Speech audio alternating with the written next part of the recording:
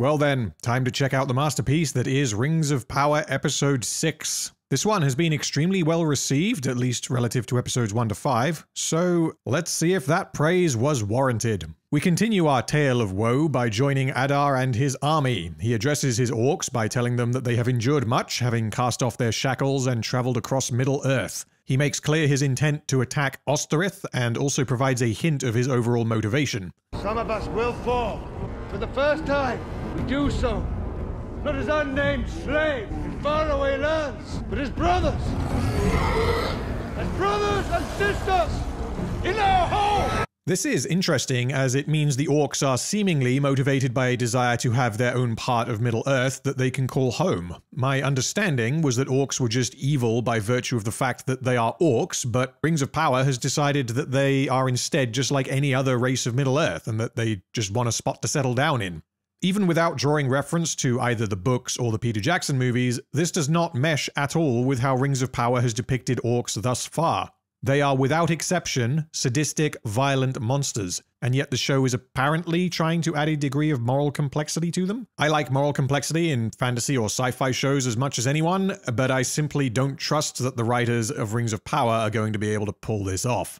They haven't yet made this explicit, but for now they've just hinted at it, so I won't explore this further yet, although I will assume that this will be expanded on by the end of the season. Adar states that tonight they will close their fist around these lands, which, given his intent to attack Ostirith, all but confirms that the only humans in the Southlands are the ones currently in Ostirith, and the ones that defected in episode 5. This means that, as I had suspected, Every remaining human settlement did indeed travel to Ostirith for reasons that were not explained, except for in the specific case of Tirharad, who evacuated because Bronwyn found an orc head. This means that Adar is aware of this fact, and even if he is able to confirm that every single village in the Southlands is deserted by using the apparently extensive tunnel network that the orcs have dug, he can't know that they are all in Ostirith. By all accounts, it doesn't make sense. I assume that the reason he is attacking now is because he has confirmed that the evil sword is in Ostirith, and that was the only reason why he had not enacted this plan sooner. This was not mentioned in this scene, but Adar was made aware of the location of the evil sword in a previous episode. Waldreg then asks Adar what happened to Sauron, but he does not get an answer. The orcs, having now entered Ostirith, declare it to be abandoned, but Adar says he knows that the elf, referring to Arondir, is still in Ostirith because he can smell him. And wouldn't you know it, Arondir then pokes his head up and starts mowing down orcs left and right because I guess none of them brought any bows. This also means that, as Arondir is a god with a bow and arrow, he had the element of surprise, and he knows that Adar is their leader, he could very well have assassinated him then and there. And as it turns out, he didn't actually need to reveal himself, period, because of what he does next. We then come to the Watchtower. Oh, Watchtower, when I saw you in episode 5, I was expecting to be criticizing how they had only just realized that you exist. I was expecting them to light a beacon so as to inform the other Watchtowers and eventually the Elven military that shit is going down in the Southlands. I was going to criticize that the Southlanders should have done this on day fucking one. But I was not prepared for what they were actually going to do with you, dear Watchtower. So, Arondir ignites an arrow and fires it into a bracket winch type mechanism on the Watchtower. It breaks, and the entire tower disintegrates and crushes the orc army. They were unable to escape because Arondir locked the door by doing this.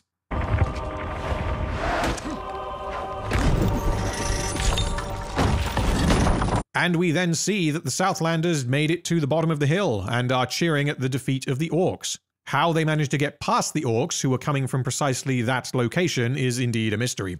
Honestly, at this point, the absurdity of this show seems pretty self evident, but here we go. The watchtower disintegrating after taking a single arrow is ridiculous because it has apparently stood for thousands of years and is presumably not made of paper. There is no way Arondir could have known that the watchtower would fall specifically in the required direction. If the plan was to destroy Ostirith, then this could have been done without Arondir revealing himself in the way that he did, thus putting the entire plan at risk for no reason. Additionally, given their plan, pinning everything on just Arondir and Arondir alone is incredibly risky. Additionally, if their plan was to destroy Ostirith, why not just destroy the bridge? That would mean that they can stay inside a very well fortified position whilst presumably firing at the orcs with bows and or spears. Additionally, the Southlanders evidently decided that the best way to defeat the orcs was to lure them into their own castle and then blow it up, meaning that the Southlanders are now just adrift in the wastelands behind enemy lines, when they could have been inside a goddamned elven military garrison. Given that now the Southlanders have decided, in fact, to abandon Ostirith, they could just keep going. I know they should have done this days ago or weeks because I have no idea how the chronology works in this show, but right now they should just run. My guess is that there are still orcs in the Southlands, but as the show has not made this clear in the slightest, and as we have just seen Adar's army get apparently wiped out by one guy, and as the Southlanders are now congregating in a wide open space with torches while shouting and cheering, the show is either trying to communicate that the orcs are dead, or at the very least severely weakened, or it is communicating that the Southlanders are retarded. I know that there are more orcs. You know that there are more orcs. But apparently no one else does. Bronwyn, who is in charge, if you recall, tells the Southlanders that they must make ready the village. I do know why they are making ready the village, but I'm going to criticize that when the time comes. Okay, so Arondir has Stanky BO. Bronwyn is still in charge, and Adar wants the orcs to have a home. We then cut to the Numenorian fleet, which consists fantastically of three ships, and we see Isildur tending to the horses. We can see that there are 10 horses on this ship. 10 times 3 boats equals 30 horses. I wonder how many they will have later. Ah, sorry, I'm getting ahead of myself. Anyway, it is worth highlighting here that the show is explicitly telling me that they have 30 horses, which causes problems even if I don't jump ahead. Firstly, is Isildur's horse Berek just that goddamn boss of a horse that he gets recruited from all of Numenor to be one of the 30 that gets to go to war? One would think an actual warhorse that doesn't belong to some spoiled kid might be a better alternative, but the Numenorians do not have any kind of military presence. See my breakdown of part 5 for more info on that. So maybe Berek was in fact one of the only 30 horses on Numenor. Unless Elendil made Berek get recruited in order to teach Isildur a lesson. Oh god, that sounds mildly interesting and could maybe inject some much needed cocaine into this show. But unfortunately, as Elendil decided that Isildur had in fact earned his place in the army in episode 5, this wouldn't function. Damn, we almost had something there. Isildur wanders on deck and encounters Galadriel, who is still wearing her full suit of armor. I was totally fine with her wearing it at the end of episode 5. It gives her a degree of authority and awe, and not only does it make sense for her character to want to do this, but it also makes sense for the Numenorians to want her to do this. But this scene suggests that Galadriel is in fact wearing her suit of armor for at least some of the month-long sail across the ocean to get to Middle-earth. In fact, from what we can tell, she has been wearing this suit of armor for the entire trip, as she has been wearing it on both of the two occasions in which we have seen her on this boat. This, as if it needs saying, is incredibly dangerous because if she gets knocked overboard, she will sink and drown. I know that she believes that she can swim thousands of miles of open ocean with no supplies over what would take nearly 100 days if she swam non-stop, but although she apparently doesn't need food, water, or sleep to survive, I think it's reasonable to assume that she at least needs to breathe. Anyway, she tells Isildur that he will be able to see Middle-earth in a few moments. I, I was only... Hoping to get the first sight of land. It'll be visible to your eyes in a few moments.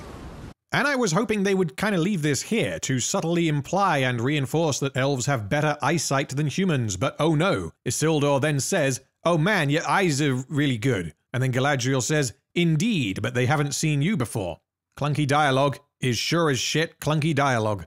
This eyesight discussion is steered in the direction of Galadriel acknowledging that Isildur is a noob as she has not seen him sailing or training, which might suggest that he shouldn't fucking be here. Evidently, Galadriel doesn't have any idea who his father is. Isildur says that his rank is that of a stable sweep, which tells us a few things. Firstly, it means that Isildur is not a soldier who was just kind of ordered to clean up after the horses. It means that he is in fact only here to clean up horse shit. This means that Elendil was convinced enough by Isildur apparently saving Kemen from that dastardly mystery arsonist from episode 5, who could it have been, that he was willing to let Isildur come along and clean stables while the real men go off and fight, but was not sufficiently convinced to actually let Isildur be a soldier. And I very much have a hard time accepting that Isildur would be okay with this in the slightest, especially given that he specifically wanted to come because he wanted to do something he deemed worthy of Numenor. My guess is that in the last five minutes, I have spent more time thinking about this than anyone involved in the production of the show did, and that I should not care about the whys or the hows and instead prepare myself for the inevitable big hero moment, which is facilitated by Isildur being on this boat.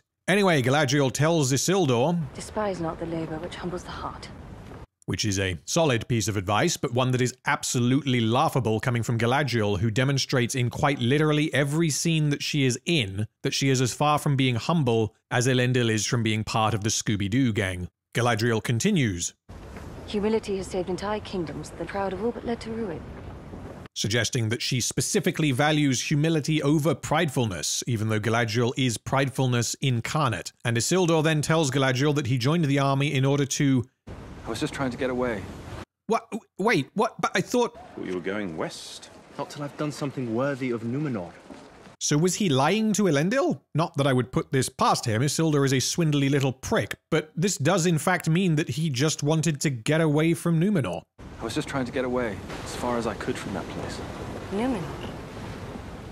It's not Numenor. Not the real Numenor, anyway.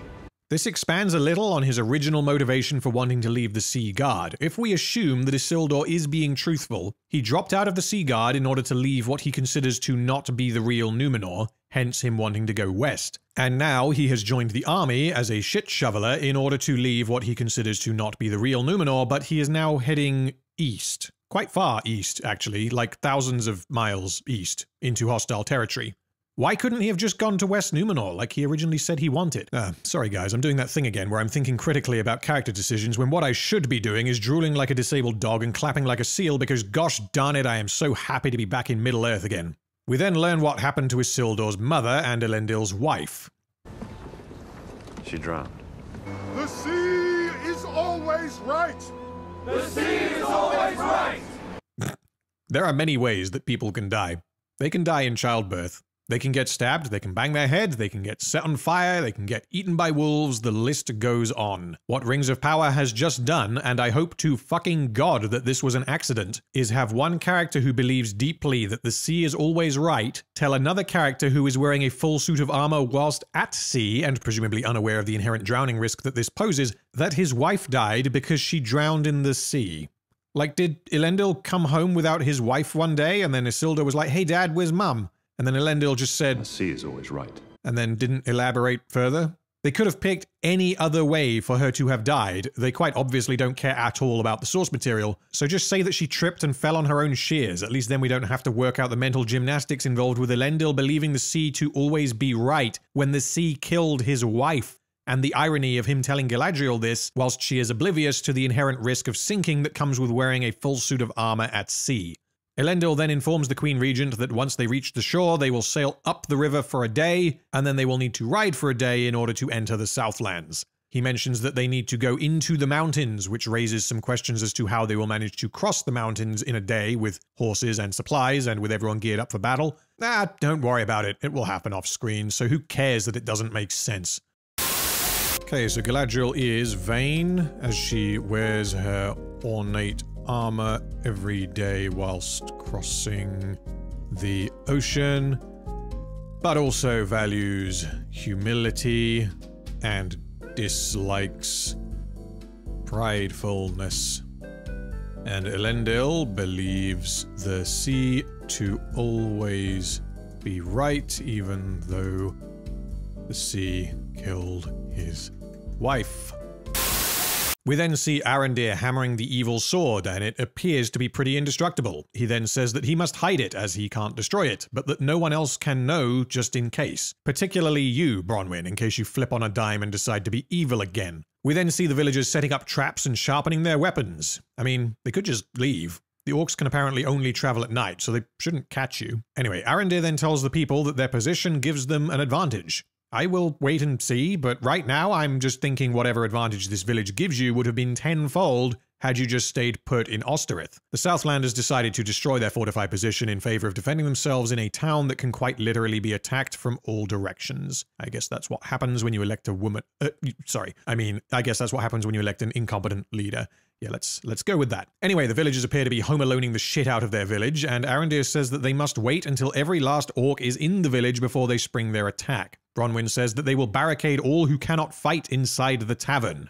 This can't possibly go wrong. Arondir continues to offer words of inspiration, which I quite like. He definitely comes across as far more believable in his authority than Bronwyn. Theo then asks what he will do, and Bronwyn tells him he will be in the tavern. Theo states that the tavern is for the wounded and the children, because I guess saying women and children would be inappropriate for 2022. uh, Oh, sorry. No, I mean it would be inappropriate for a medieval inspired fantasy world because this peasant culture is apparently up to speed on modern day diversity and equality training. Anyway, Bronwyn acknowledges that Theo can fight, but says that this is why he must remain in the tavern to protect those those who cannot. Essentially, this is an exact retread of Eowyn at Helm's Deep. If, however, Theo were at Helm's Deep, he would indeed be fighting. There were children younger than him being torn from their families for this exact purpose. But hey, we can't have a woman do the babysitting. That would be so regressive. I'll try my best to leave this here because I really don't want to get bogged down in comparing societally enforced roles for men and women. Because even though I find this a bit ridiculous, it isn't directly a criticism of the show, so I will move past it. Theo stays behind because Bronwyn says so. She then reassures Theo after he asks her to. When I used to have bad dreams, you remember what you used to say when you would hold me in the dark? Would you say it to me now? In the end, this shadow is but a small and passing thing. There is light and high beauty forever beyond its reach. Find the light, and the shadow will not find you. This doesn't really seem like something you would say to a child, but apart from that, this mostly works for me as an isolated scene. Theo shows himself to be more vulnerable than he lets on, and Bronwyn actually fulfills her role of a mother for once, which is nice. Bronwyn then herself asks for words of encouragement from Arondir, also revealing herself to be more vulnerable than she lets on. Why couldn't we have had more of this? This is starting to actually flesh out Bronwyn as a character. Give us an unimposing young woman who finds herself responsible for a group of villagers, and she doesn't feel up to the task but perseveres by giving off strong woman energy. But in the background, she is very much struggling and vulnerable herself because she was not prepared for what this responsibility entails. Give us that instead of this. This tower will no longer be a reminder of our frailty, but a symbol of our strength. Who among you will stand and fight? Pretty pathetic, huh? Arondir continues that after the battle they will live together and plant trees in their garden, a reference I assume to him having been a grower before becoming a soldier, and this is also notable for being the same seeds that Bronwyn had given him when we first saw them in episode 1. Then they kiss for what I assume is the first time, and the sun sets. Okay, so this scene is, apart from the very first Southlands scene which introduced these characters, in my view, the best scene we have had in this story. Apart from the absurdity of how and why they are in Tirharad at this moment, if we assume that what they are doing by home aloning their village before nightfall is in fact the best thing to do, or even anything other than a retarded thing to do, the characters in this scene not only function, but we also learn about them. The smallest goddamn thing and with one or two very slight exceptions, it has taken Rings of Power nearly six hours to get there. I just wish that we had previously had hints or references as to Bronwyn's insecurity as a reminder that yes, she is just in fact a girl, rather than a turbo badass who decapitates orcs because she is cool. Her characterization in this scene I do think is good, but unfortunately I do not think that it meshes with her previous scenes at all. Okay, Theo wants to fight, and Bronwyn is protective of her son and is sometimes vulnerable. Well, night has fallen. I wonder if the orcs will remember that they have a tunnel going directly under Bronwyn's house. Wait, if the orcs have a tunnel going directly under Bronwyn's house, then why did they wait for nightfall? And why did the Southlanders not booby-trap that tunnel? Anyway, let's move on for now and see what happens.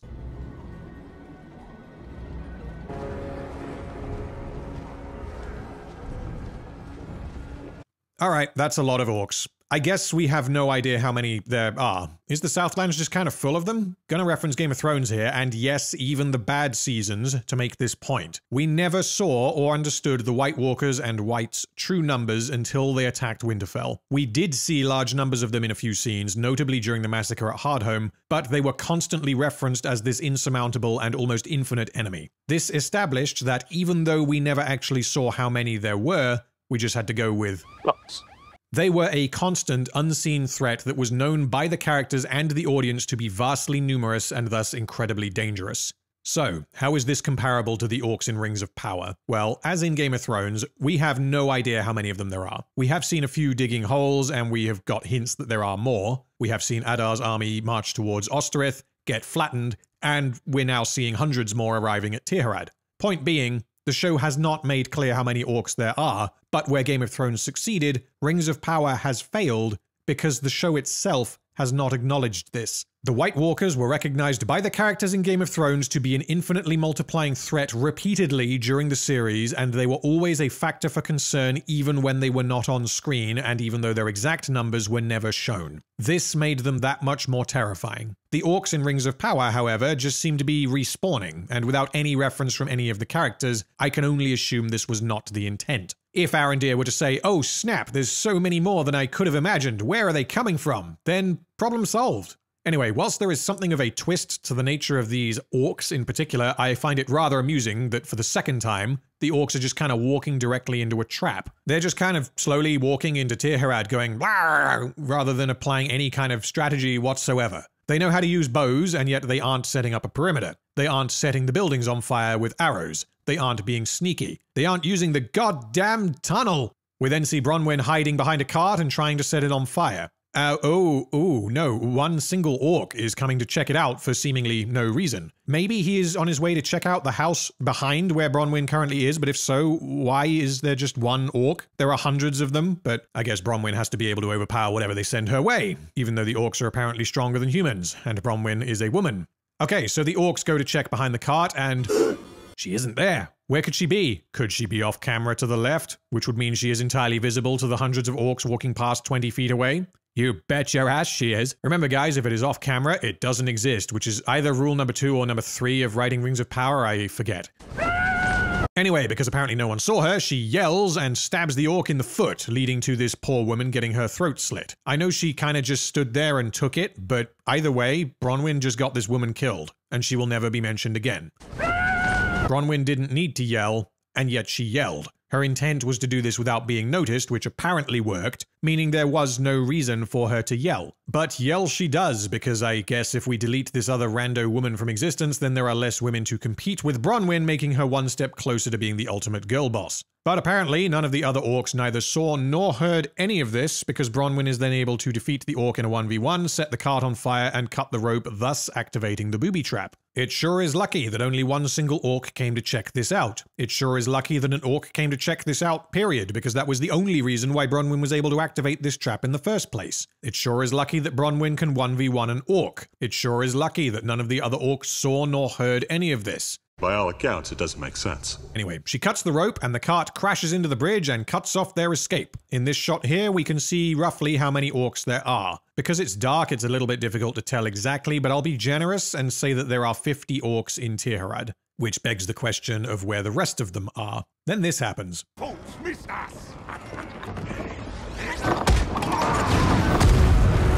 Okay, so these orcs are both deaf and blind. Apparently, a flaming wheelbarrow rolling towards them at high speed is a stealth attack. Apparently, the villagers also knew that this would happen. I'll be honest, guys, so far, the praise that episode 6 has received is very much a mystery to me. Anyway, now apparently trapped, the villagers and Arondir start firing at the orcs with their bows. Arondir nails a few, but the MVP is honestly this guy right here. Like, holy shit, this guy is good. Shame he doesn't hit any of the main characters.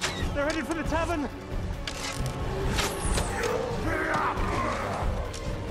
Because I guess the orcs know that the tavern is where the women and the children. It, it, fuck, sorry guys, I'm not progressive enough. The wounded and children. We see that the orcs have this little diddly battering ram, which confirms that, yeah, had they stayed in Ostirith and not destroyed it, then they would likely be fine. Or at the very least, they would last longer, and less people would have died. Which means whoever's idea it was to destroy Ostirith is kind of responsible for everyone who gets killed in this scene. So far, Bronwyn has got that one woman killed for no reason, and two or three Southlanders have been nailed by arrows. Seems like a rather high risk plan, but what do I know? I'm just a hater on YouTube, or so I am told. Anyway, then this happens.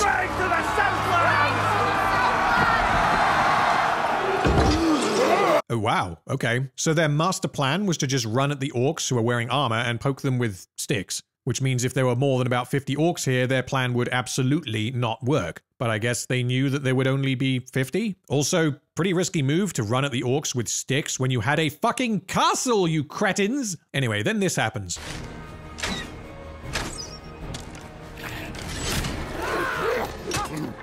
All right, so maybe it is just Arondir who has really shitty hearing because this is the second time he has been snuck up on when he absolutely should not be. It is difficult for me to say exactly because I can't tell if this is a mistake or if this is intentional, which is always the mark of good writing. So, if we utterly disregard any and all other material that is not these six episodes of Rings of Power, we have been told that Elrond and Galadriel both have really, really good eyesight, and that Arondir does not have really good hearing.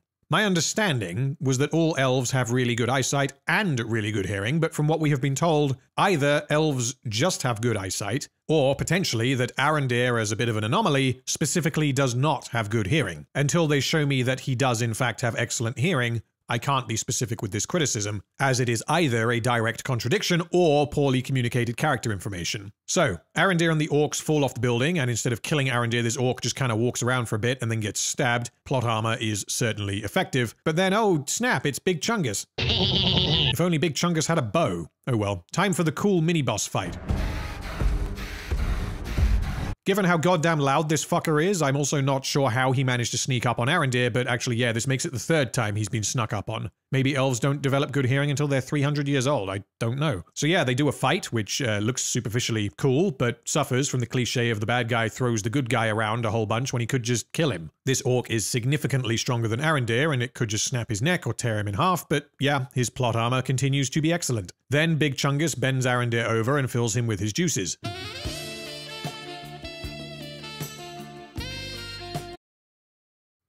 All right, I'll tell the whole truth. Big Chungus removes the stick from his eye, and blood squirts out of his eye hole as if his eye is a major artery, and squirts all over Arondir's face.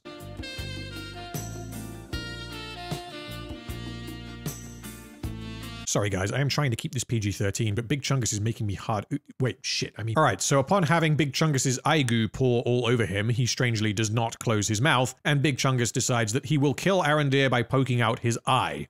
Gandhi was wrong. 1000 internet points for anyone who understands that reference. Anyway, all seems lost. Arondir is about to get poked, and he is then saved at the last minute by, to no one's surprise, Bronwyn. How she got here and how she knew to come here is anyone's guess, but actually I didn't say that because I was distracted by how cute of a couple they are. Aw. It's a shame that Arondir has just been deflowered by Big Chungus. Anywho...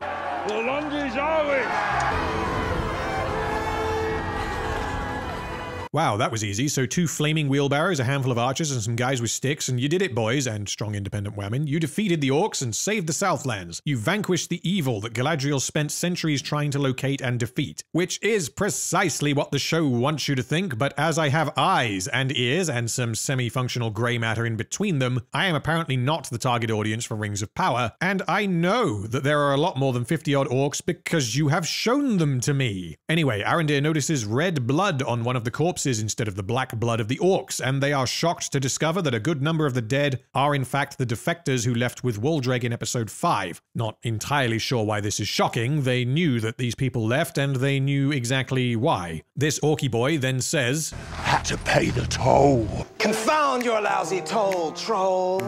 And then the remaining orcs who did not enter the village start pelting the villagers with arrows, including Bronwyn and the Cowgoo Man, nailing every hit, continuing to show fantastic aim when required. So, now that this twist has been revealed, let me go over the orcs' plan. They send the defectors alongside some orcs into Tirharad, presumably to die, but if they can get some killing done, then all the better. That way, the villagers will then reveal themselves and can then be turned into pincushions. Now, they could have skipped a step here and just marched in with every orc and killed everyone, but Adar presumably made the decision to send in the defectors first in order to thin the numbers and also cause the villagers to take a morale check. This suggests two things. Firstly, that Adar does not care at all for the lives of the defectors if their optimal use is to die and thus sow fear amongst the villagers. Secondly, Adar deliberately wants to sow fear amongst the villagers rather than just kill them. Whilst it does make sense for Adar to not want any pesky humies left at the end so he can create a home for the orcs, the only reason why the villagers were able to get pelted with arrows was because they were apparently unaware that Adar's army consisted of more than approximately 50 orcs, and therefore they were perfectly happy to stand around outside of cover. Instead of pelting them with arrows whilst the defectors were distracting them, the orcs waited until the villagers had thought they had won, so as to provide the episode with a dramatic high followed by a dramatic low. Unfortunately, this does not function as intended, because we already know that Adar does not care whatsoever for the lives of the defectors, so there is no reason not to send in the defectors to distract the villagers and then just take off and nuke the entire site from orbit. Also, if this was his plan, why did he not do this in Ostirith? Adar believed the villagers to be in So why didn't he march the defectors in first? Well, you see, if he had done that, then the defectors would have all died in Ostirith, and thus there would have been no dramatic realization that the villagers have been killing their own people, which makes this an instance of characters being dumb and or inconsistent in order to facilitate drama.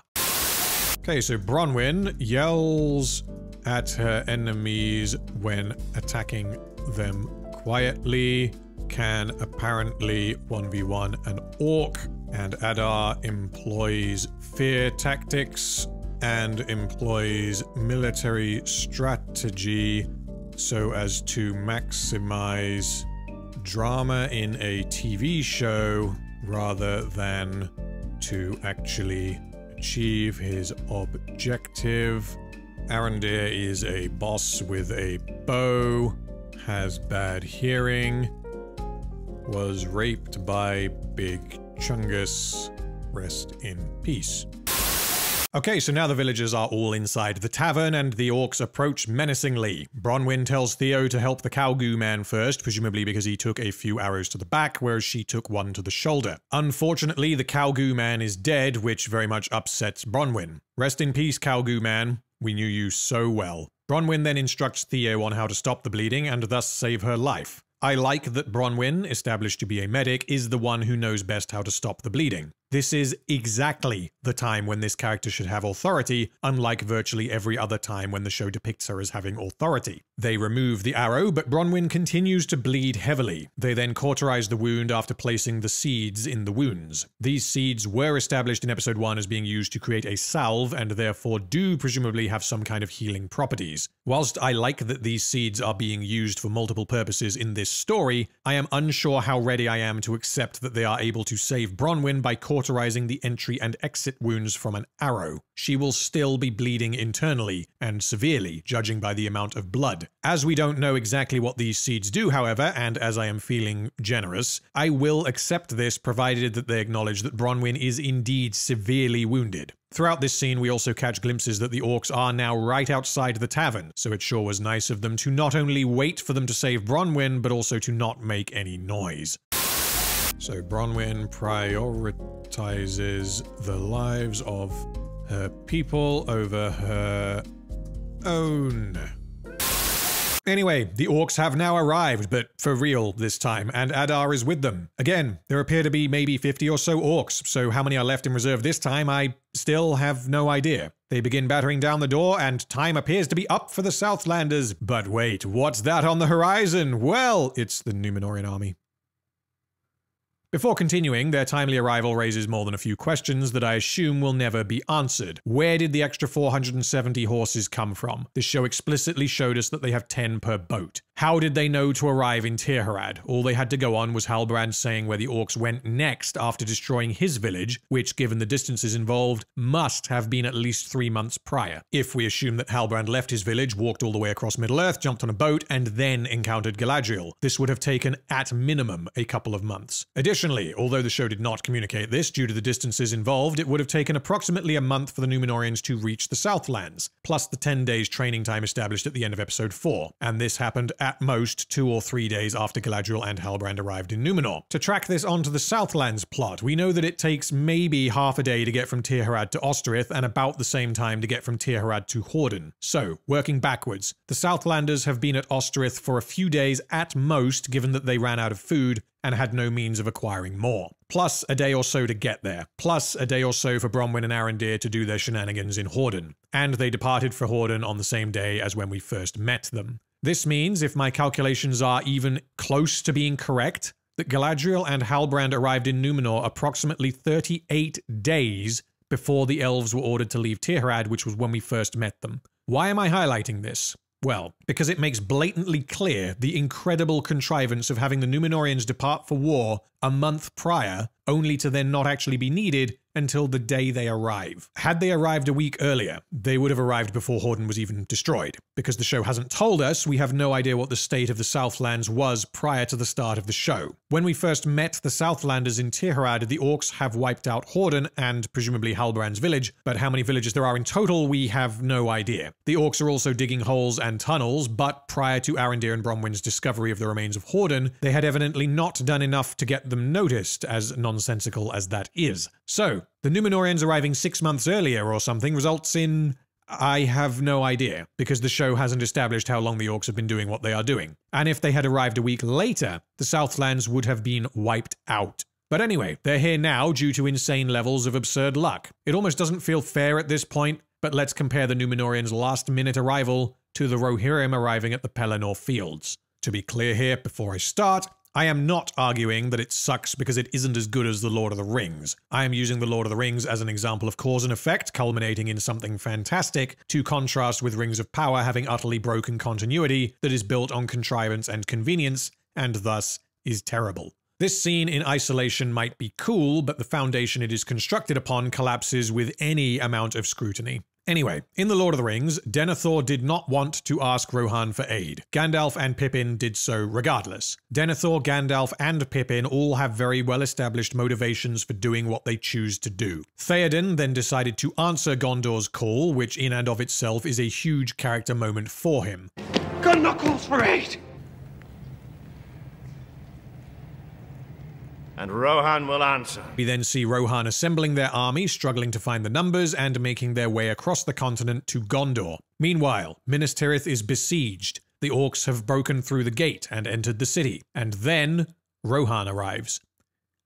Before explaining why this works, I will now explain what happened in Rings of Power. Chronologically, Galadriel and Halbrand arrived in Numenor by pure chance. Galadriel successfully convinced Numenor to rescue the Southlands because Elendil had shown her a scroll that was written by some guy that explained that Sauron plans to create a realm where evil will thrive, Halbrand's claim that his village in the Southlands was destroyed by the orcs, and the revelation that Halbrand is the heir to the throne of the Southlands. The only one of these three revelations that makes sense is Halbrand's claims about his village, and only then if the characters believe him. See my previous videos for full explanations as to why none of this works, but regardless, Galadriel manages to recruit Numenor's non-existent existent army and they depart for Middle-earth. Whilst the Numenorians are en route, the Southlanders evacuate their villages for mostly unspecified reasons and congregate in Ostirith again for unspecified reasons. The orcs then attack Ostirith, and Arondir brings the watchtower down upon them. The Southlanders then regroup in Tirharad and prepare their defenses, but are ultimately defeated and trapped within the tavern. Okay, that is what happened. Now, why does the Ride of the Rohirrim succeed where the Ride of Numenor does not? Gondor, or specifically Gandalf and Pippin, lit the beacons, thus asking for aid and making clear that help was urgently required. The Southlanders did no such thing. Rohan had a very clear and very justified reason for wanting to go to war. Numenor did not.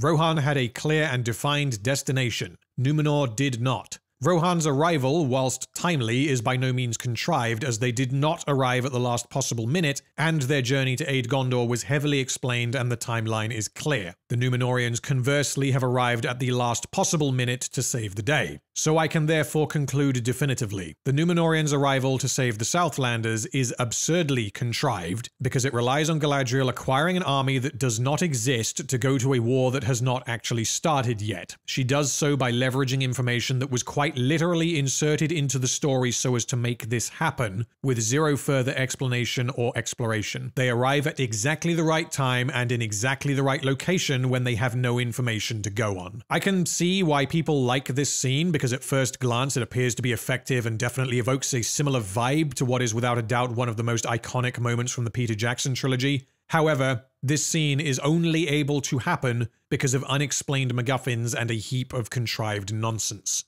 There never was much hope. Anyway, the orcs have now battered down the door to the tavern, presumably meaning that everyone inside is fucked. Arondir starts to fight them off, but they threaten to kill Theo and Bronwyn, and he backs down. Then Adar enters the tavern. Hopefully, he has a good reason for not killing everyone, because he has had multiple opportunities to do so. Okay, uh, all right. See, this is not a good reason. All Adar knows is that a boy has the evil sword, or had the evil sword. If we read between the lines a bit, we can assume that Waldreg may have told Adar that it is Theo that has the evil sword. This, however, raises the question once again of why Waldreg did not bring the evil sword with him when he defected. Anyway, if we assume that Adar knows that Theo has the evil sword, Arondir's response here is to take a leaf out of Elrond's book and confirm that he knows where it is when he had no reason to do so. Sure, if Arondir had said, What evil sword? I don't know what you're talking about. Adar may have then threatened Bronwyn, thus causing Arondir to cave, but Arondir doesn't even try to hide this. Arondir says that if Adar lets the villagers go, he will consider giving over the evil sword, and in response, the orcs kill three randos. Adar then orders that they kill Bronwyn next, as presumably Waldreg told Adar about their relationship. Before Arondir is given the chance to consider what to do, Theo reveals to Adar the location of the evil sword, and the location of the evil sword is under the floor in the tavern. I can't, guys, I can't. This show is fracturing my brain. Why do they keep doing this? Why can't they make it through one scene without colossal fuck ups? Arondir specifically said, Where will you hide it? No one must know. meaning that only he knew where it was. I know that we see Theo watch Arondir leave with it, which I have to assume the writers considered to be a sufficient explanation, but unless Theo followed Arondir into the pub and watched him put it under the floor all without Arondir noticing, this is impossible. And where he chose to hide it was in the fucking pub. Bury it in the woods, throw it in a lake, tie it to a squirrel, do anything other than take it to exactly where you know Adar is going to be. And whilst I don't take issue with Theo deciding to cave into Adar's demands to save his mother's life, this relies entirely on Arondir hiding the evil sword in the tavern and Theo being aware of this. We already know that this hilt does not function like the One Ring. It does not seem to have a will of its own. You are not drawn to its evilness or anything. It could have been far more effective and far more narratively coherent to have Theo plead with Arondir to reveal where he hid the evil sword in order to save his mother, and this being what eventually causes Arondir to cave. Anyway, Adar then approaches Waldreg and says that he has a task for him. Soon, I assume, we will learn what the purpose of this thing is and why Adar wants it so desperately. However, I assume we will never learn why the Southlanders didn't just leave and take the evil sword with them. Okay, Arondir is terrible at keeping secrets and is terrible at hiding things.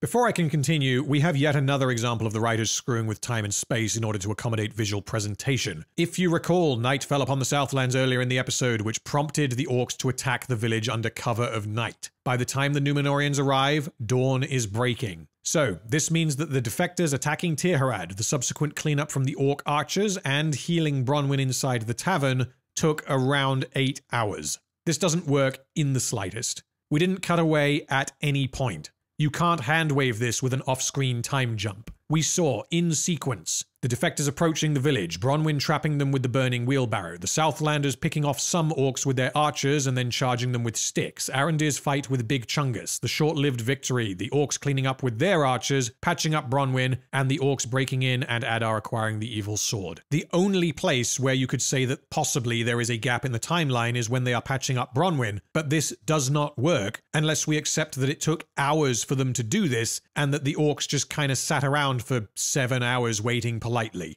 This entire sequence took almost exactly 20 minutes of screen time, and the way it is depicted means it must have also taken near enough 20 minutes in universe. But anyway, it's daytime now, or at least dawn, so let's see if this affects the orcs. I'll give you a clue. It doesn't, because of course it doesn't. Pretty pathetic, huh? So the Numenorians charge into the village, which then causes the orcs to decide to slaughter the remaining Southlanders. I have no idea how many are actually still alive, but given that they are all contained within a pub, and given that there are more orcs than people inside this pub, my guess would be no more than 20. So the orcs start killing the Southlanders, and because the show cuts away, we just have to kind of accept that some of them survive, specifically Arondir, Theo, and Bronwyn, even though they are vastly outnumbered by a much stronger species within a confined space. Meanwhile, outside, the Numenorians mow down the orcs by using chains tied between their horses. As they ride in opposite directions, the chains get longer and longer, meaning each rider must have had a large bundle of chain that they were either holding or was attached to their horse. Either way, this seems like a rather risky move, but it looks cool. Fine. Arondir and Theo leave the tavern and start killing orcs, which can only mean that not only did the orcs not kill everyone inside the tavern, but that in actuality the Southlanders killed every single orc that was inside the tavern. We have to assume this, because if not, then Arondir and Theo have just left a bedridden Bronwyn inside a pub full of orcs. And as if it even needs saying at this point, I don't believe that they could have done this. Again, you can't really tell, but I think an estimate of 20 odd Southlanders seems about right, which includes the wounded and the children. Similarly, we can't be exact with the number of orcs, but we saw at least 20 approaching the door, which means if I am being as generous as possible, the show is telling us that an assortment of 19 humans, including wounded, elderly, and children, plus Arondir, was able to defeat 20 orcs. I do not believe you. By all accounts, it doesn't make sense. Now we get to the moment that has been thoroughly mocked, and I am in two minds about it. Firstly, I will just show you what happens. So, Galadriel demonstrates incredible reaction time and agility, catches this orc off guard, and decapitates him. I am going to present all sides to this that I can think of and then conclude on whether or not this is a problem. I have seen people criticize this scene by saying that Galadriel is showing off and that it looks ridiculous and that it is not an efficient way to dodge an arrow and decapitate an orc. I have also seen people defend this by saying something along the lines of, well, it was okay when Legolas did it, so stop being a misogynist. So, in universe, I take zero issues with Galadriel being able to do this. She is insanely agile and has crazy elven reflexes, etc., etc. Whether or not this was the most efficient way to do what she was trying to do, I have no idea because I don't know anything about horse riding. Although my gut instinct tells me that this was unnecessary, she likely could have just leaned slightly to the left. I do, however, think that the Legolas comparison allows us to narrow down the exact reason why this scene is pissing people off. Legolas, like Galadriel, is thousands of years old and is an expert in martial combat. They both have superhuman agility, balance, reactions, and to a lesser degree strength. There are four examples that I can point to of Legolas using his superhuman elven abilities in the Lord of the Rings trilogy. I am ignoring the Hobbit movies because I've only seen those movies once and I don't care to see them again. The first example is during the cave troll fight, whereby Legolas performs some pretty incredible moves leading to the troll's defeat. The second example is him doing this crazy flip onto his horse during the Warg attack. The third example is him surfing on the shield, and the fourth example is him bringing down a Mumakil single-handedly. So, was Legolas showing off in any of these examples? In the scene with the cave troll, the answer is a categorical no. Legolas was cooperating with the other members of the Fellowship in a manner that was consistent with each of their skill sets. Legolas may have dealt the killing blow, but he could not have done this without them. In the case of the horse flip, I would also argue no, because it allowed him to get back on his horse without the horse stopping, which would have put people at risk. Yes, it looks showboaty, but it serves a practical purpose, and I have no issues with Legolas being able to do this. In the case of the shield surfing, this one is a little harder to defend, but him choosing to surf down the stairs on the shield allows him to get to Gimli and Aragorn quickly, whilst also being able to use his bow and remain a hard target for the Uruks. In the case of him bringing down the Mumakil, this is pretty explicitly depicted as him showing off to a degree, given Gimli's response. That still only counts as one! However, this is by no means a problem because he firstly successfully brought down a goddamn Mumakil, and secondly, he did it efficiently. Gimli's perception that Legolas was showing off is a natural result of Legolas's ability to do these incredible things, and it is acknowledged in universe. So, to bring this point back around to the scene in question, what Galadriel does here is probably most directly comparable to the shield surfing scene. In both cases, what they are each doing is acceptable in universe and serves some kind of purpose, so isn't being done purely to say, look what I can do. So, why is Rule of Cool a valid defense for Legolas surfing on the shield, but not for Galadriel doing an upside down orc decapitation? One difference between these two scenes is that Galadriel's move was entirely self-serving, whereas Legolas was trying to reach Aragorn and Gimli. Most critically, however, the reason I think people like the Legolas scene and do not like the Galadriel scene is because she's a woman. No, is because people like Legolas and people do not like Galadriel. I believe that if this scene were taking place in Ostirith and Galadriel had pulled the exact same move as Legolas, people would still have a problem with it, not because of the move itself, but because of the character in question. I am not going to list all the references I have for this next statement, but if you want them, then check out the previous videos in this series. Galadriel is both a terrible person and a terribly written character that the show consistently and repeatedly tries to depict as awesome, admirable, and an aspirational badass. This inherent contradiction means that scenes like this feel like the writers are reaching through the TV to grab you by the throat and yell, You will enjoy Galadriel, look, she's so awesome. This, of course, could not be further from Legolas's character in The Lord of the Rings. Yes, he is awesome, but he's also not a one dimensional selfish dick that the show thinks is awesome. Anyway, back to the other characters. We see Ontamo, Isildur's other buddy, being attacked by an orc. The orc pulls him off his horse and strikes repeatedly at his sword no fewer than 10 times. Seriously, count them.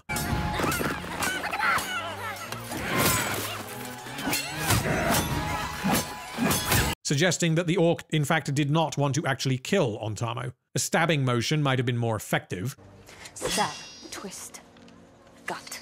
But I guess the orcs are just a wee bit special when it comes to attacking named characters. Which reminds me, are the Numenorians actually heeding Galadriel's advice on how best to kill an orc? Well, Afrock stabbed and twisted this guy, but this was his chest, not not his gut. Can you gut someone in the sternum? I, I don't think so, but props for trying. It is also worth noting here that the Numenorians are, as established previously, not militaristic. Eleven days ago, they did not have an army. These guys are defeating orcs having never fought or seen an orc before. It has also been heavily implied that the orcs are stronger than men, so it is reasonable to assume that they are more competent fighters in a 1v1. But then, actually, Bronwyn totally slayed that one orc earlier, Yas Queen, so my assumptions are apparently built on a foundation of ass gravy. We then see Míriel and Isildur up on a cliff. Uh, I, I guess Isildur is done shoveling shit and he's now a soldier, I guess. And she tells him to go on his own, apparently.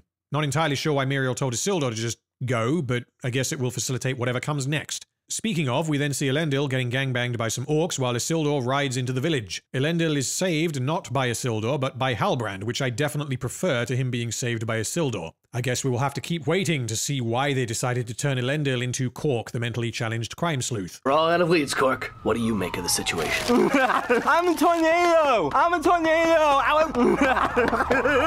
Anyway, Isildur reaches his father, who assures him that he is okay. Galadriel then approaches Arondir and asks where the orc commander is. Arondir points out Adar and says that he must not escape with the evil sword. So, a few things here. Firstly, as we can assume, Adar does not in fact have the evil sword because he approached Waldreg and presumably gave it to him. Evidently, Arondir is unaware of this fact. If I was a nitpicker, I would suggest that given that Arondir is meant to have super acute hearing, he should have heard Adar when he left the tavern and said, Waldreg, I have a task for you. I can let this slide though, because this marks the fourth explicit reference to Arondir not having heightened senses, so again, until they tell me that he does in fact have superhuman senses, I will be content to simply accept this fact. Secondly, how the fuck did Waldreg get out of Tirharad? Adar approaches him, and then immediately the village is swarmed by the Numenorian cavalry. I know that not everything needs explaining, but whatever Adar's task is that requires Waldreg to take the evil sword somewhere hinges entirely on him being able to get out of Tirharad, which given the circumstances should be nearly impossible. Anyway, Theo appears to admire Galadriel, asking Arondir who she is, and Arondir indicates that he is aware of who she is, stating that she is commander of the Northern armies.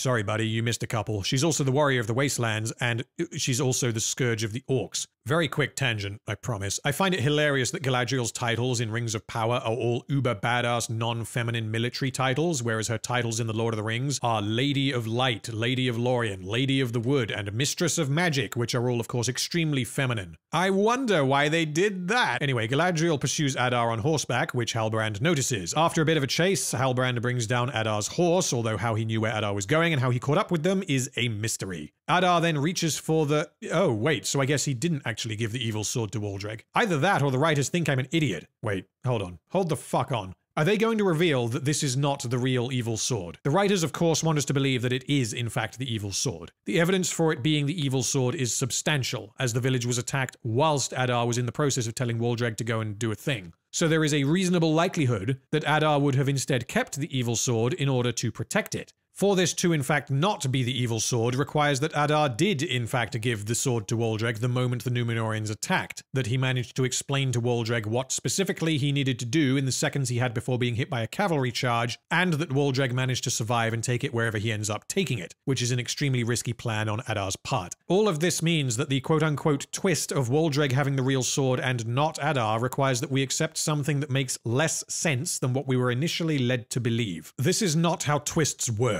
A twist will typically act as a reversal of pre-established material in order to shock or surprise the audience in a way that they may not have seen coming, but critically, in a way that makes sense. The new information that serves as the twist cannot be something that makes less sense than what was originally implied. In Fight Club, the revelation as to the true relationship between Tyler Durden and the narrator makes substantially more sense than that Tyler was just some rando that he met that one time. In Shutter Island, the revelation as to Teddy's true nature makes substantially more sense than what we were originally led to believe. In The Prestige, the revelation as to how Borden and Angier actually performed their tricks makes the entire film function, because it is probably the only explanation that does in fact make any sense.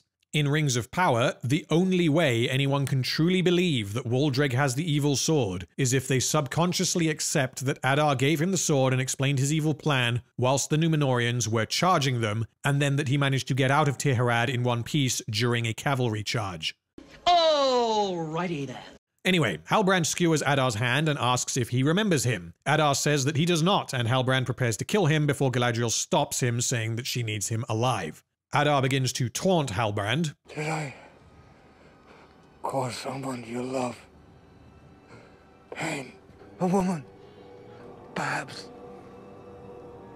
a child? Causing Galadriel to tell him to shut up in the most eloquent way possible that is certainly befitting a character of her demeanor. Eat your tongue. We then get yet another strange nonsense metaphor. One cannot satisfy thirst by drinking seawater.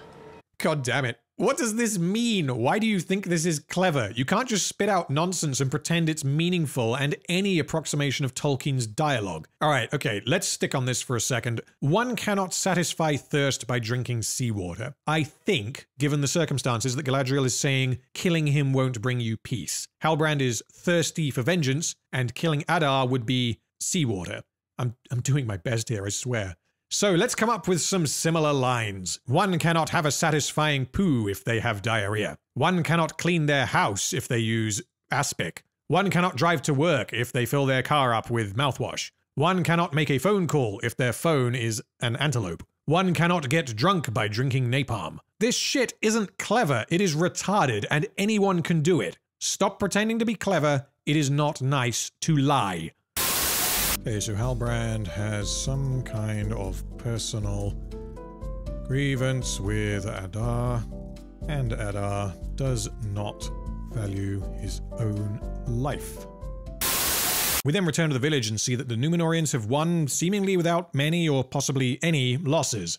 Afrock tells Isildur that both of them will be leaving soon to hunt down any orcs that escaped. We then see Galadriel interrogating Adar. I assume that the cloth wrapping containing what is definitely the evil sword and definitely not anything else has been properly examined, and the reason I say this so smugly is because I know that they abso-fucking-lutely have not done this. Galadriel deduces that Adar is an elf that was tortured by Morgoth and became one of the first orcs. She then asks him where Sauron is. Adar does not cooperate, and Galadriel threatens to bring the orc prisoners into the sunlight. Oh yeah, I'd forgotten that orcs burn when in the sun. I guess this right here doesn't count as sunlight. Anyway, Adar explains that Sauron intended to heal Middle-earth after Morgoth was defeated. He says that Sauron sought to create a power over flesh, and we see a flashback to the fortress in Forodwaith from episode 1. Turns out that Sauron sacrificed orcs in order to reveal dark knowledge, but was unsuccessful. Adar did not approve due to Sauron killing the orcs whom Adar considers to be his children, and so he killed Sauron.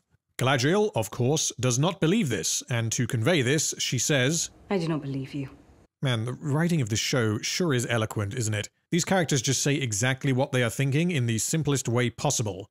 Well, unless it's metaphor time. Anyway, Galadriel then says that she considers the orcs to not be children, but slaves, which is an interesting thing to say given that the orcs, as depicted in Rings of Power, appear to be more than willing to do everything that they do. Adar responds, They are not children, they are slaves. But each one has a name, heart. A heart created by We are creations of the One. Master of the secret fire, the same as you, is worthy of the breath of life, and just as worthy of a home. So this pretty much confirms Adar's motivation throughout the series. He truly believes that orcs are just like any other species of Middle-earth and thus deserve a home, even though orcs are, without exception, evil. Even though every single action the orcs have taken in these six episodes has been evil. It may have been more interesting to have Adar be far more morally ambiguous and to maybe have him disapprove of the orcs killing indiscriminately, as he wants them to be better than their nature. They could have had a degree of complexity here, but no, Adar is just as evil as the orcs, albeit less animalistic. Anyway, then Galadriel says, Your kind was a mistake. Made in mockery. And even if it takes me all of this age, I vow to eradicate every last one of you. Okay, so orcs were created by Morgoth. They are inherently and necessarily evil. Wiping them out seems like a good idea, which I'm on board with. However, Galadriel has literally just said that she views them as slaves, suggesting that she does not consider them to have any agency in what they are actually doing. This also makes her Galadriel of the Noldor, daughter of the Golden House of Finarfin, commander of the Northern Armies, scourge of the Orcs, warrior of the Wastelands, and genocider of slaves. Galadriel then continues, You shall be kept alive, so that one day, before I drive my dagger into your poisoned heart, I will whisper in your piked ear that all your offspring are dead, and the scourge of your kind ends with you. Holy shit, woman. It is one thing to wipe out all the orcs because they are beings of pure evil. It is quite another to torture Adar for presumably hundreds of years so that you can keep him alive and aware of the fact that you are utterly annihilating every single thing that he loves and cares about. You are a fucking monster. I'm going to say something spicy now, which I know is slightly off brand. But here we go.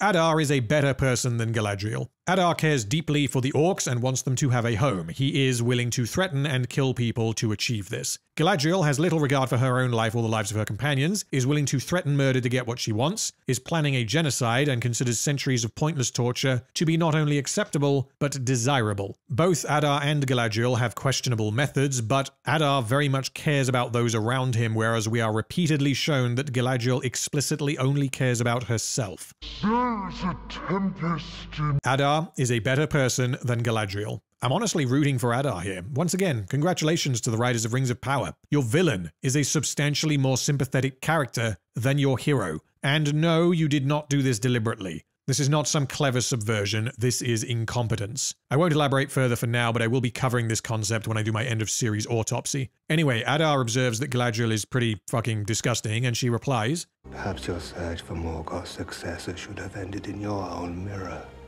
Perhaps I shall begin by killing you. I have no further comment on this beyond what I already said. She moves to kill Adar, and Halbrand stops her, revealing that he was present for this entire scene and thus knows what both characters just said to each other. As they leave, Adar asks Halbrand who he is, and he does not answer. Hmm, I wonder. Okay, so Adar cares deeply for the orcs, and Galadriel is morally okay with genocide, cannot control her emotions, is willing to torture someone to get what she wants, and is willing to go out of her way to torture someone for no reason.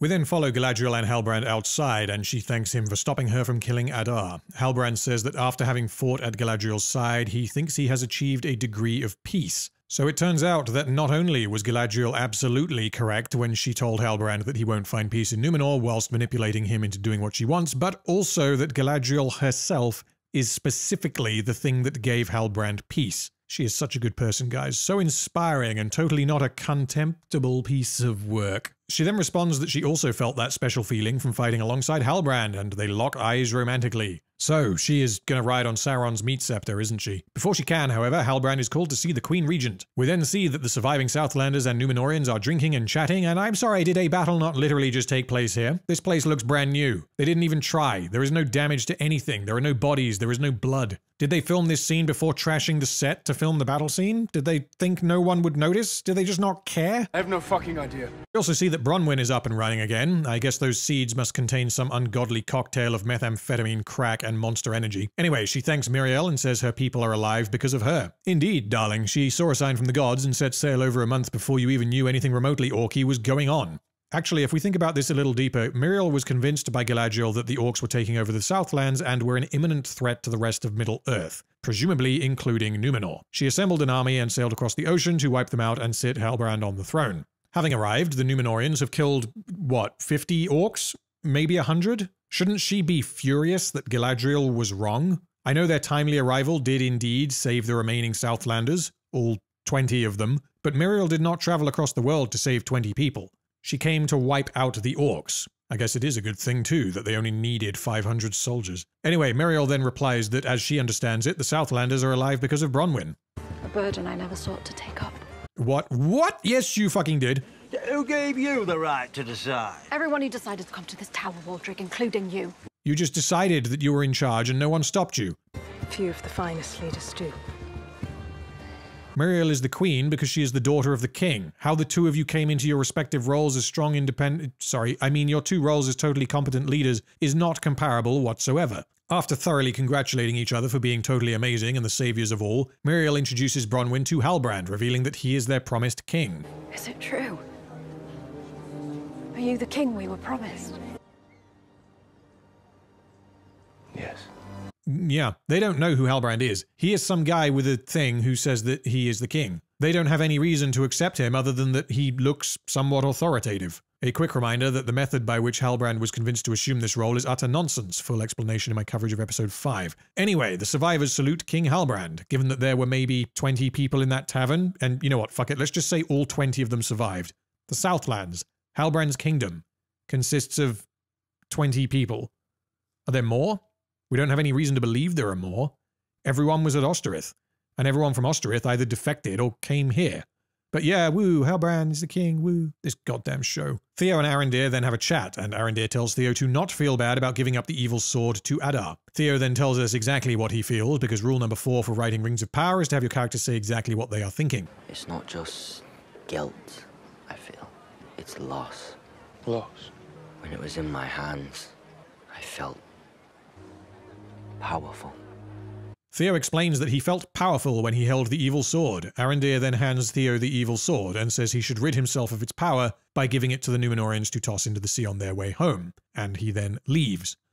That's a damn stupid thing to do. A few quick things. Theo has just told Arondir that the evil sword makes him feel powerful. It clearly has some kind of one ring type effect on him, or perhaps on people in general. So Arondir gives it to him. This seems wildly irresponsible, but alright. Also, dropping the evil sword into the ocean seems like as good a way to get rid of it as any, as it apparently can't be destroyed and also does not have any kind of one ring like will of its own. However, Arondir has just given the super secret evil MacGuffin to a child, which means he is the second character to have done this. Anyway, oh boy, guys, it's coming.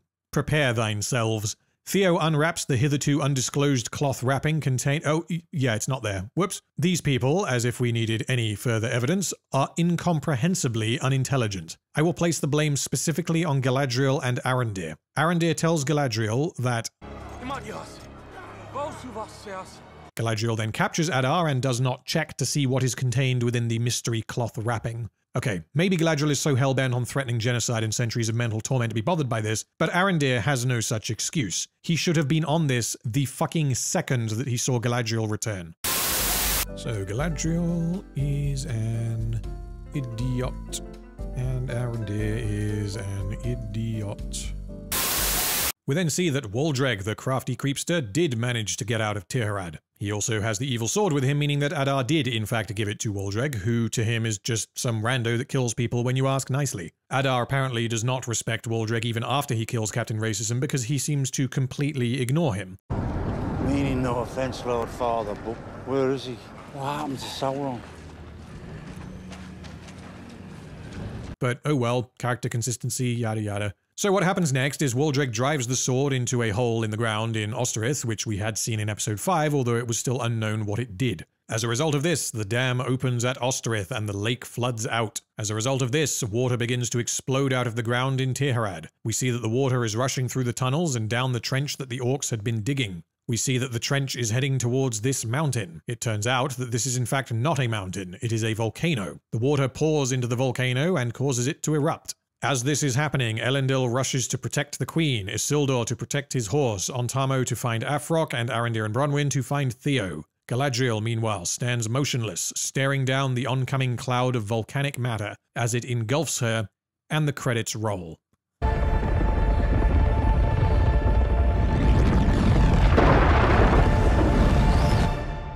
I am struggling to find the words. I don't know how to explain sufficiently why this is so awful. I am speechless. Hold on, I need a minute.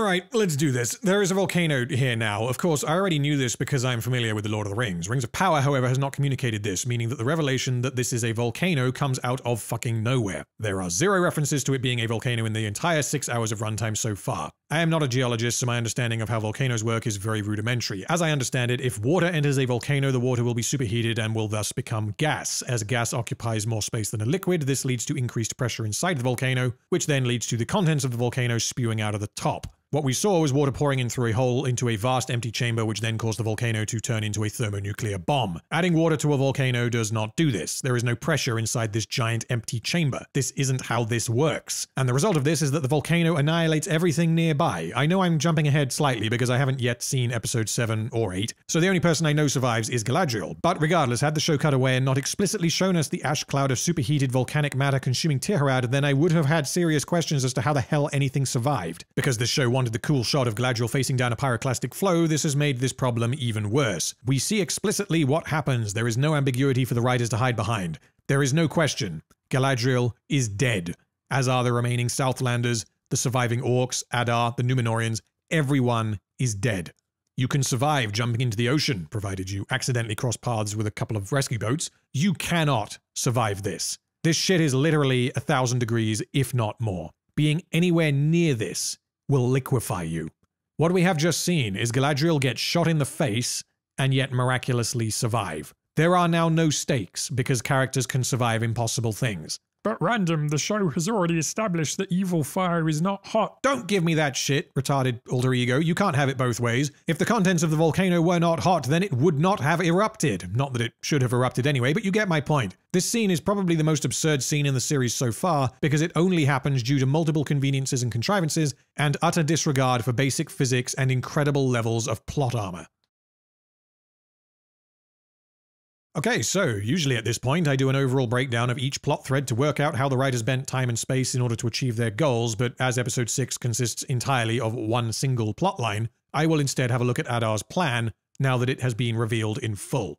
Adar first needed to acquire orcs. Luckily, the Southlands is full of orcs, so we're good to go. Then Adar needs to start digging the trench from Mount Doom to Ostirith. Because orcs can't work during the day, unless, of course, you give them a hat, or the writers forget, Adar needed to speed things up a bit by acquiring some slave labor. He has the orcs tunnel underneath the various villages of the Southlands so as to abduct their populaces. Now, critically, this is a mission of stealth, because if Adar and the orcs get caught early, then the whole thing falls apart. So, in order to avoid being seen, the orcs have to quietly uh, burn down the villages that they raided, so that no one notices that they're gone, and they also have to rip down every tree near them to turn the Southlands into a barren hellscape, which will of course mean that no one is able to see them. After all, the unseen giant evil trench is the deadliest. Now, in order to actually open the dam, Adar needs to acquire the evil sword. He knows about this because shut up and don't think about it. Luckily for him, a child was seen in one of the villages carrying it. Luckily for him, this child was in the village because the adults had forgotten to bring any food with them when they evacuated. So this is really their fault. Had this not happened, Adar would not know where the evil sword is. Anyway, unable to believe his luck that some kid just popped up out of nowhere with the evil sword and is now known to be in Ostirith, Adar attacks the Southlanders, first at Ostirith and then at Tirharad. He acquires the evil sword by threatening to kill people, and gives it to Waldreg. As a distraction, Adar will need to grab an axe and wrap it up to disguise it as the evil sword so that the Southlanders waste their time chasing the wrong MacGuffin. Adar is aware of how profoundly unintelligent the Southlanders are after observing them forgetting to bring any food with them during an evacuation, so he is confident that they will not actually check to see if the decoy is in fact the real thing until it is too late. Meanwhile, Waldreg will then be able to escape an active battlefield unharmed, return to Ostirith, insert the evil sword into the keyhole, and open the dam. This will cause the contents of the lake to spill out into the trench, into the volcano, and thus cause the volcano to erupt. Well done, Adar. As a result of the volcano erupting, the orcs now have a home, I think. Well then, it's question time. Who made the evil sword? We can assume Sauron due to the mark of Sau- oh no, sorry, due to the map of the Southlands being engraved on it. Why did Sauron make an evil sword to open a dam? Did he add this to Ostirith? Did he build Ostirith? I was under the impression that Ostirith was built by the elves, but I could be wrong here. How does Adar know about all this? Why did Waldreg have the evil sword at the beginning of the series? Why did Adar wait until now to start building the trenches? Why was the trench not built thousands of years prior when the evil sword was made? Why did the elves who were previously in Ostirith for 67 years not notice this giant trench slowly being dug alongside all the deforestation? Why does exploding a volcano mean that orcs now have a home? Is it just going to block out the sun uh, forever? I'm not even going to summarize this. I honestly think this speaks for itself. Okay, so that brings us to the end of episode 6 of Rings of Power. In this episode, we had more absurdly convoluted and nonsensical plans. We had incredible levels of plot armor. We had a plot driven entirely by bending time and space, relying on uninhibited luck, and characters knowing things that they cannot know or doing things that they would not do. And it ends with a moment so utterly ridiculous, it is quite simply laughable. The significant amount of time spent in episode 5 jumping through cognitive hoops in order to let Isildur join the army also has not paid off yet so I'm assuming this will come later. If not, then a substantial chunk of episode 5 was spent wasting our time getting Isildur a spot in the army via ruining characters for no reason. So, the big question I have is why did people who did not like episodes 1 to 5 like this episode? Well, as long as you only absorb the purely superficial elements, episode 6 of Rings of Power has big action, big character moments, and big emotional payoffs. Unfortunately, the action scenes are mostly okay in isolation but are built on nonsense. The big character moments and the emotional payoffs include Bronwyn and Arondir finally embracing their romance, discovering that they had killed their own people, Bronwyn being badly wounded, the Numenorians arriving heroically just in time, Galadriel chasing Adar, Halbrand nearly getting his revenge, Galadriel and Halbrand bonding emotionally, Bronwyn and the Southlanders cheering for their lost king who has finally returned, and the final moments where Adar ultimately achieves his goal and Mount Doom erupts and destroys all in its path. When I put it like that, it sounds pretty cool. If I gave this summary to someone who was interested in watching the show, they may well say, oh wow, that sounds pretty awesome. I can't wait to see all that. The problem with the episode and the show in general is not the broad strokes of what happens. The problem is how and why the show makes these things happen. In a good show, this kind of thing would have been pretty cool, no doubt, but very little of it works at all. Probably the best scene in the episode is the one between Arondir and Bronwyn before the battle, but even that relies on nonsense for these two characters to even be present.